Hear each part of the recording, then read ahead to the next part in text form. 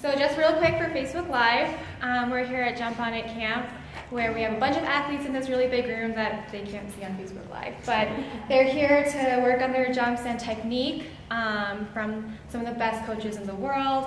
And next to me, I have two of the best jumpers, um, Nathan Chen and Karen Chen. And I'm Sora. I'm from US Figure Skating. I do our social media. Um, so to get started, how are you guys doing? Great, yeah, I'm super excited to be here. Me too. I'm feeling great, and I'm really happy to be here. so, what have you guys been up to since World Team Trophy? Um, we've actually both been on the Stars on Ice tour. Um, basically, that's it. I mean, we've been pretty busy since. We had um, a USOC thing a few few weeks ago. Basically, we were at, and yeah, that's it. I honestly have nothing to add more than that. So yes.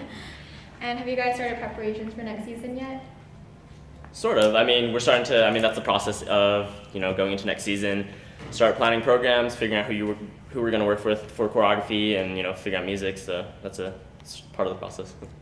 So before we look too far ahead, um, you you both had pretty crazy seasons, and the longest seasons you've ever had so far. Looking back now, what's been your favorite moment?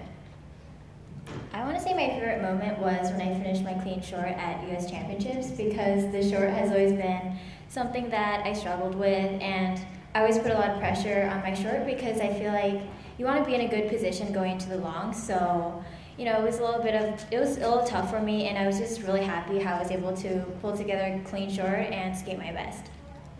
What about you, Nathan? Um, probably landing my triple axel in the long since, you know, yeah. triple axel is clearly my favorite jump.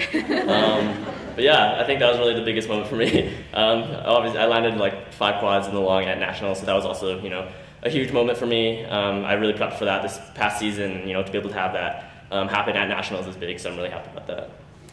So speaking of those five quads, um, after you landed those at U.S. Championships and four continents, you then attempted six at World Championships. Um, and can you talk a little bit about why you wanted to add that sixth quad and continue to challenge yourself? Yeah, I mean, I always just want to push myself technically. You know, it's something that I knew I was capable of doing, and it's something that I just wanted to, you know, try to prove to myself that I was capable of doing. Um, it didn't work exactly the way I wanted it to, but you know, I just I, I knew that you know you always have to take risks. You always have to um, you know put yourself in uncomfortable situations so that you can eventually succeed. So that's kind of where my mind was going before the long at Worlds. Do you ever get scared heading into? Oh, definitely. I mean, that's part. Of, that's like half of it. Like half of like the first quad toe I did, I was at Lake Arrowhead, and we don't have boards in that rink, and I went to the toe, and it just like went full speed, didn't know what I was doing, and like did like uh, like three and a half turns and landed four, and just slammed into the into the boardless no. rink. But yeah. So anyways, so that was like the first time. It took me like you know two years after that to really like get over the fear of doing it. But once you, once I was able to do that, it happened really quickly. Awesome. And then for Karen, you also went to your first World Championships. Um, and then heading into your free skate, having an idea of how the rest of the field had skated and what was ahead of you with the pressure of bringing back three Olympic spots. Um, how did you handle that, and how did you kind of approach that situation? Honestly, after I skated my short, I felt relieved because, like I said before, the short was something I struggled with. So I was very excited to do my long. But you know, I definitely felt a lot of pressure because I did want we wanted to bring back three spots for Olympics, and I felt like that was very important. And knowing that you know things weren't going so well, and that I really needed to skate a clean long, there was definitely an additional amount of pressure. But I feel like I was able to block it off and really focus on taking one element at a time and staying really focused and just somehow pull things together. And then for Nathan, it was also your first world. So it was your longest season. How did you handle the extra length of the season? Yeah, I mean, it's definitely something new, a new experience for me. Um, it was a really fun season, though. I mean, I got a lot of new experiences that I'd never had before. Um, and again, going to Worlds is something that I've really dreamed about for a long, long time. And you know, to finally have that happen uh, was was you know super reassuring. And even though it was a long season, it was still like a really fun one. And I'm really happy about it. Yeah. Um, and to get to those World Championships, you both had ups and downs throughout your careers. Um, it's not just a straight shot to the top um, to win the title. And for Karen, you had some early obstacles to overcome, like at Salt Lake City U.S. Championships, yes. Um, winning your intermediate title. Do you want to talk about that experience a little? Yeah, of course. This is when junior nationals was still a thing, and that's when you still had to qualify in order to compete your short and your long. And I remember skating a disastrous long and just sitting in the stands watching my name go down lower and lower and lower and finally hit 10th place and I knew it wasn't going to go down any lower and I knew I made it. And so somehow I it felt really good to know I finally made it, but at the same time, I was like, wow, I really have to step it up and not let that disaster happen again. So I just had to clear my mind and just focus on what I had to do. And I skated clean short and clean long and won the title, and it was a very good experience for me. Yeah, you came away with the title, so. Yeah. and speaking of Salt Lake City, Nathan, you grew up in Salt Lake City. It's an Olympic host city. How did that affect your Olympic dreams, and how did that impact your childhood growing up? Yeah, I mean, I grew up in Salt Lake City. Um, 2002 Olympics, like you said, were in Salt Lake City. Um, and to be able to be, you know, raised in an area where the Olympics were like, you know, such an impactful thing, um, really, you know, helped me as a skater grow. And um, I remember, you know, training at Steiner's in Salt Lake City with, you know, Apolo's face right on the wall and um, the Olympic rings right next to you. And then also, you know, driving to the rink, I passed the Olympic torch. So to see that and, you know, just to be in, in an Olympic environment is just like something that, you know, was super beneficial to me and just an amazing experience. And with your childhood and your whole career now leading up to this point, um, who's been your greatest support system for both of you? Um, definitely my family and my mom. You know, like without them, I never really would have gotten where I am now. Um, I remember, you know, her driving me to the rink everywhere. You know, taking me to you know ballet class, gymnastics, everywhere. Just you know, without her, it would not have been possible. Um, and even like just when I was a younger kid and her taking me to the rink every day, she really helped me find my passion for skating. Um, you know, made it really fun for me. I mean, I was three years old, four years old at the time. I would have gotten so bored with it so quickly. So I mean, I'm glad that you know she was able to do that. You know, make little games and you know just make skating really fun for me at such a young age. And I think that really you know picked me picked me up to where I am now. And Karen. Um, the same. I feel like my family um, is my support group, and they're more than that. And I really appreciate everything they do for me. And you know, I've been through so many obstacles with so many injuries, and they were there for me through all those tough times and helped me, you know, go find the right doctor that could help fix and go find the right physical therapist to help me fix whatever's bothering me. And I really appreciate it. I couldn't be here without them. And Karen, there's somebody else in your support system. Um, it's a pretty familiar name. You guys might know her, Kristi Yamaguchi. Um, can you tell us a little bit about your relationship with her? Yes, um, Yamaguchi is more than a role model to me. She's an inspiration, and in general, I look up to her more than not just as a skater, but as a person as well, because she's so giving and caring and generous, and that's something that I really admire in her, and I'm just so thankful to have her, I guess, help me and assist me and guide me. How did you guys first meet? I think I first met her at my home rink in Fremont, and I remember just being extremely nervous. And, you know, it's Kristi Yamaguchi. How can you not be nervous when you see her? She's amazing. So, yeah. And is there any piece of advice that she's given you that you will take with you into the Olympic season? Yes, for me, she told me this really recently. This was before Worlds. She told me to skate dumb. And I feel like it's something really funny, but at the same time, it works because as for me as a skater, I feel like when I'm skating, I tend to overthink things, and I tend to just let my mind wander and race when I'm, especially when I'm competing. So to just kind of let that just let that all go and just let my body do its job and let things happen. So heading into the Olympic season now, what would it make? Uh, what would it mean to you to make the Olympic team in a year? I mean, it would obviously be a dream come true. Um, it's like I said, you know, I was growing, I grew up in Salt Lake City around the Olympics, and that really, you know, pushed my career to where it is now. And just to be able to make the Olympic team would definitely be something that, you know, is a huge accomplishment in my life and something that's really reassuring to all of the work and all the hours and time that I spent on the ice. Karen. It's exactly the same for me. It's something that I've always dreamed about and something that I really want, and I feel like I have to be not afraid to go for it, and I really want it to happen. Can you remember the first Olympics uh, you ever watched or your first Olympic memory?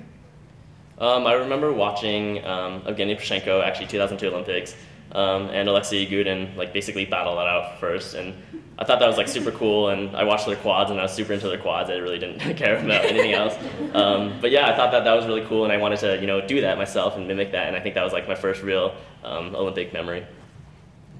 For me, it was watching Michelle Kwan, but I do remember watching Plushenko skate his free skate over and over again because my brother was a huge fan of him and he would just watch him over and over and over, and so it's just so inspirational.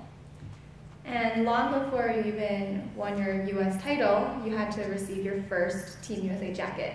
Do you guys remember how you felt when you got, got that jacket and put it on?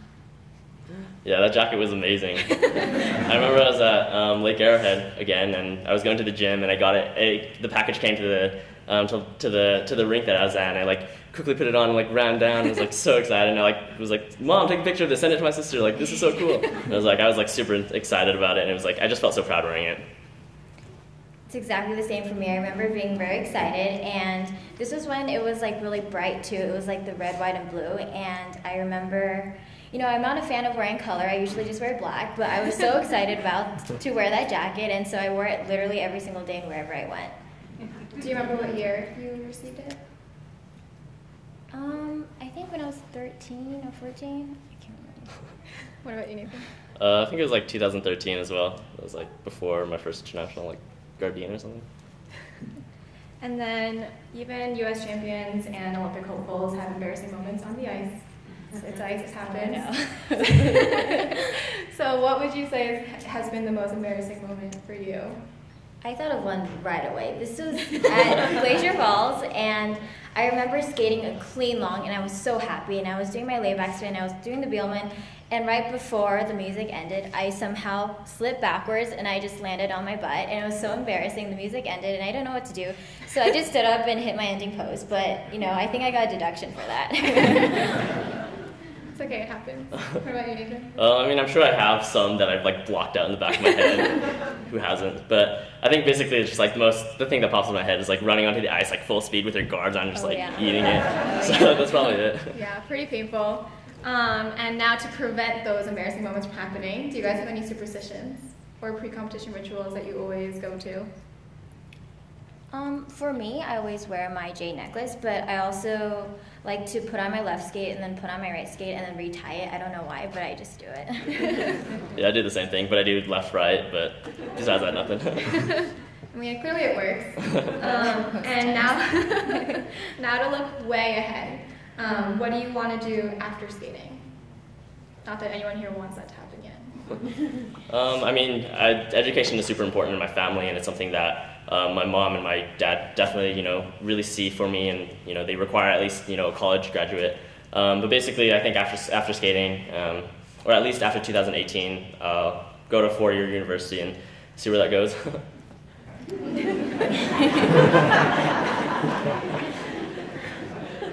As for me, I'm hoping to get involved in the medical field just because that I've dealt with so many injuries and I've really learned to appreciate what they do and I think it's very cool and it's something worth trying. And Nathan, what would you want to study? Same. Sorry, it's super stereotypical. I'm but sorry. anyways, yeah, probably medical. It's something like that. Um, do you guys know what schools you would be looking at yet? Um, it kind of depends. I mean, if I'm, you know, going through 2022, I want to find something close to California where I'm training. So like UC Irvine. If not, maybe you know some like uh, something like Johns Hopkins or an Ivy or something. We'll see. I definitely would like to stay in California because I'm a Cali girl. I love the weather. I don't think I could deal with any other type of weather, so definitely something in California. And then also away from the ice, Nathan, you play guitar, I do. Karen, you paint. Um, why are these hobbies so important to you to have some balance and have something away from the ice? I mean, you basically answered that in the question. um, but yeah, I mean, just something having definitely having something off of the ice where you know you can take your mind off of skating, have fun, just not really enjoy, uh, not really care about anything, and just enjoy it. Um, and I think that's really what you know I do with my guitar. Uh, my brother actually plays guitar, so I picked it up because of him, and you know sometimes I'm jamming out with him. So it's just something that I like to do for fun. How long have you played? Um, I played guitar for like two years, but played piano for since I was like five. And then after that, I moved to California and couldn't bring my piano with me, so uh, I got a gu- uh, violin and then hated that. so then went to a guitar. Okay, what about painting for you? Um, painting is something that I really enjoy doing, and I feel like it's kind of like a stress reliever for me, and it's something to just take my mind off of skating and school and just be relaxed. And what do you like to paint? And how often do you get to do it? Um, I usually like to do something nature based, um, but you know, I've been really busy, and it's something that I wish I could incorporate back into my routine, I guess. Is there anything else you guys like to do away from the ice? Aside from guitar and paint? Netflix. YouTube. Um, and then you guys both participated in the first Jump On It camp last year. Can you guys talk about your experience a little bit and what the athletes here have to look forward to in the next couple days? Yeah, so I was a team leader last time. Oh, that was loud. uh, I was a team leader last year, and it was really cool to be part of the first Jump On It camp. Um, I remember, you know, one of the girls in my in my group was actually start, is training with us now. So it's really cool that this camp, you know, opens a lot of doors for athletes like you guys. Um, and it's something that you know you guys. I wish that I had this experience when I was younger to be able to you know work with all these great coaches and meet all these people. And like a big part of figure skating is definitely meeting all these people and making friends. So I think that's you know really great about this camp. Karen, how was your experience last year? Yes, last year as a demonstrator, so I kind of got to see and work with everyone, and I felt like it was great and inspirational for me as well to just kind of see all the skaters out there and see how far they've come and how far they will go. And I think it's such a great opportunity and experience for all of us. What was your favorite part? Hmm. No, I mean it was it was just really fun to be able to you know um, guide everyone around and you know kind of have, feel like I was part of the camp. okay, so some rapid fire questions about jumps. What was the hardest jump for you to land? Axel. Karen. Uh, flip. How long did it take you? Um, took me like three years to land a double axel. I can't think of how long, but I just know flip has been something that I kind of abhor and I hate doing it. um, so when you were first learning all your singles, which jump were you most excited to learn? Um, probably single axel, ironically. probably single lutz because I have a natural thing for the outside edge. And what's your favorite jump? Uh, quad. Triple lutz. Um, your least favorite jump? I think I already know your answers, but. I wonder what it is. you can say it again. and to wrap things up, what is your favorite thing about jumping? Not falling. All right,